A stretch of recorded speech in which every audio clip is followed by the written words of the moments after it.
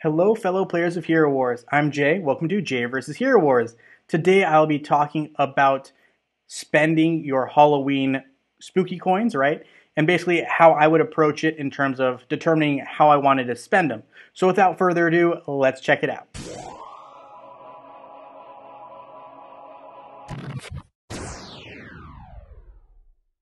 Alright guys, so here we are in game. We have one day and six hours left related to the event that we have going on right now for claiming our coins.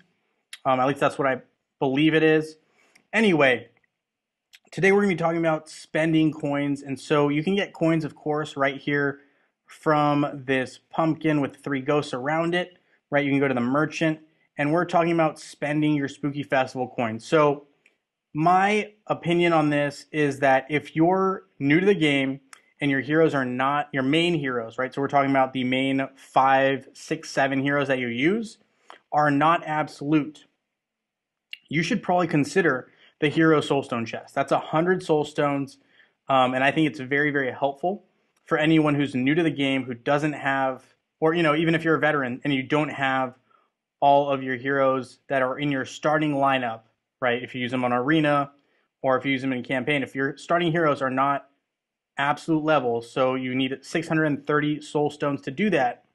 So that's six hero soulstone chests plus a little bit more. But if this will help you get to that end end goal of having an absolute hero and it's in your starting team, I highly recommend that.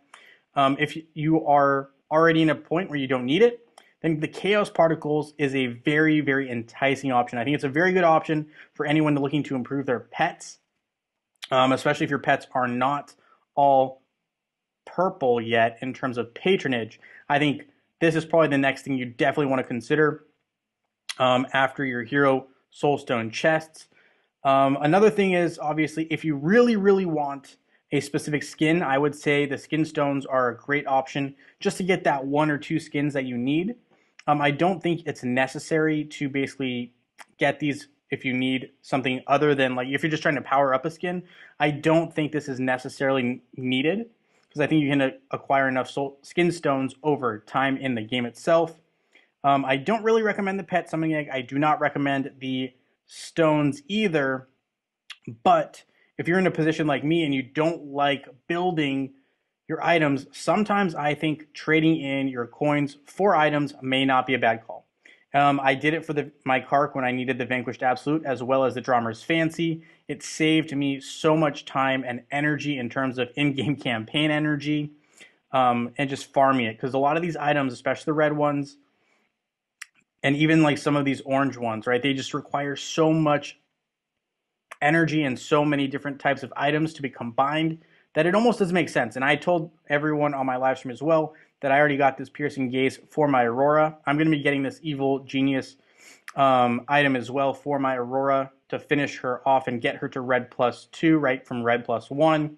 So we're going to actually buy this right here. But this is what I'm talking about. If you really need an item, I don't think it's the worst thing to get it. Um, supposing that it is um, something that you need for your main heroes I just find that some of these items are very cumbersome. They're not really worth all the energy, and you're better off just using some of these Spooky Festival coins. Now, it's going to be a case to case basis. I don't recommend that for everybody, but for me and the situation I'm in, all my heroes are absolute. Um, a lot of my pets are in a pretty good spot. They're all at least purple.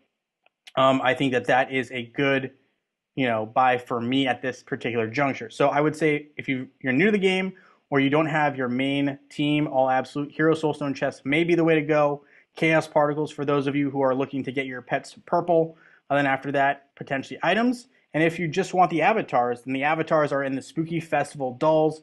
Um, i definitely probably will be looking to get some of these as well because i love avatars. I'm a sucker for them so with that being said guys hopefully this helps you in determining how you want to use your spooky festival coins. And keep in mind you can always hold on to them and use them at a later time so with that being said, thank you guys so much for watching this video. Hit that thumbs up button and subscribe. And I look forward to seeing you guys all in Dominion.